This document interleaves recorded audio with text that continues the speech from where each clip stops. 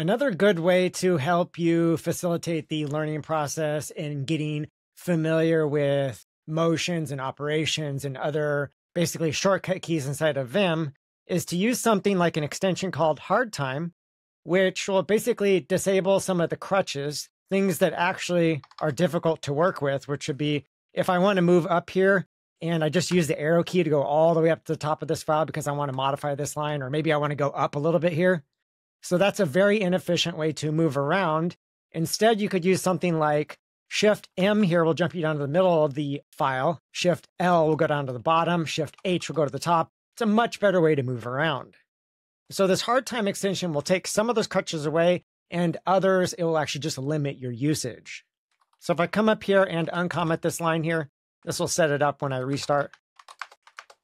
All right, so now it should be enabled, which means if I just hold down an arrow key, you can see right away it's disabled. I can't even move up or down the line at all. Can't move left or right either. So the arrow keys are completely gone at this point in time. And of course, you could use the H, J, L, and K keys to move around. I could move right. But after about four or five key presses, you can see I get capped out here. So I can only move up four lines, and then I have a reset period where I have to wait a certain amount of time, or I have to use a better key combo to unlock things for me to be able to use that key again. So if, for example, I do J, J, J, J, J, I'm locked out.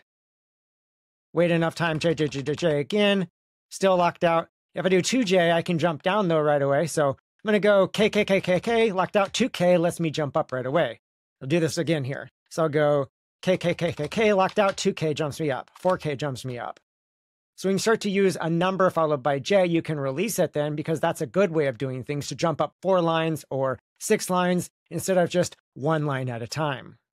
And then always in the bottom here, you can see output messages. By default, these are enabled to explain what the issue is and why you were capped out in this case.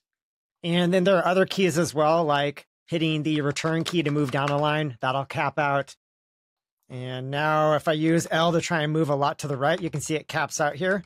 What am I supposed to use instead? Well, I could use something like W or E or B.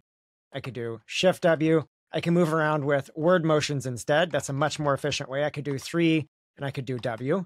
I could even do three and L here, as long as I'm not smashing the L key and holding that down forever. You can see once it times out though, I can move on again by just using a number. And that's because it's trying to encourage you to develop the good habit of jumping around to exactly where you need to go, especially when it comes to the W, B, and E keys to move between words. Or, of course, you could use F here to find the next instance of a letter like FE, FE again, finds the next E, FE again. I could do two, Shift F and E here to jump back two E's. Those are definitely good habits to develop. And then, in addition to just blocking and restricting certain keys, there's actually some where it's going to give you recommendations. For example, if I wanted to get rid of this package here, the Lua plenary package, I could, of course, try to come over here and, well, then I'm capped out to get rid of this by coming here and do D and capital W. That doesn't exactly do what I want, though. Instead, I might want to do something like D and then I to get rid of the inner word, and then W.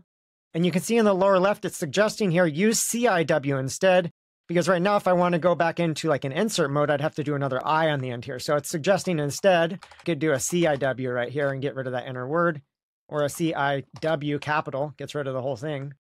And then forget the mouse, you can't use that to save you either. You can try and click around all you want. That thing is disabled like the arrow keys. And then some key combos like deleting the rest of this line, I could do D and then dollar to delete through the end of the line. However, as you can see in the lower left here, I could have just used capital D instead. I could use a single character then, so capital D, and that gets rid of the rest of the line. And if you want to see what keys are available for suggestions to get an idea for this, if you come out to the repo for this project, you'll get instructions for how to set this up. And then there's a link here to the configuration that I've already got opened over here. Basically, these are the keys here that reset your hard counts. So if you cap out on K, just by using a number, you can resume using K. And that's because wants to encourage you to think about the number of times you want to do something if you want to repeat a character. And then here are the restricted keys, which means they'll cap out after four or five uses. You also have the dis disabled keys here, like the up, down, left, and right. And then underneath of hints, this is where you could add your own hints. For example, here's the hint we just used for D and dollar. to use D instead of D dollar, or here's capital Y instead of Y dollar. And then I should say, this is the plugin that you want to add, run a setup on it. It has a few dependencies. And then otherwise for actions here, it's called hardtime. There's an enable action. There's also disable and toggle. And then there's a report though. I actually haven't had any luck getting that to work. Oh, hey, it worked this time. Here you go. You can see all the different keys that I pressed. You can see the most frequent occurrence of the most problematic key. At the top here was pressing the K key or the J key. And further on down, you can see other things I need to practice. You can see on the right hand side how many times I hit a certain character. I did have trouble getting this to load. This is the first time this has worked for me. I almost wonder if you have to use hardtime for a while before it builds up enough history to be able to run the report. So if it doesn't work initially, maybe give it some time, try to practice the keys a little bit more, and then see if the report will work for you. All right, and now there's hardtime here. If you need to disable it for some reason, you can do that. Now you should be able to use the key. Yeah, see, this is the other issue I had, and I couldn't get this one to resolve, but I actually cannot get the darn thing to disable. And that's okay, that's not a big deal. To disable it, you can also just comment out the setup step here. And of course, once you restart then, now you can just, to your heart's content, go up and down with the letters J and K, or left and right with the letters L and H. So if you feel like you have some work to do to get familiar with the keyboard actions in Vim, this is definitely a plugin to put in. Just start using it, plug it in. Yes, it starts up when you start up Vim, which means it's going to be there and annoy the heck out of you. But that means you're also going to have to take the time to go, okay, if that's the hard way, why don't I take a moment and figure out what the easier way is?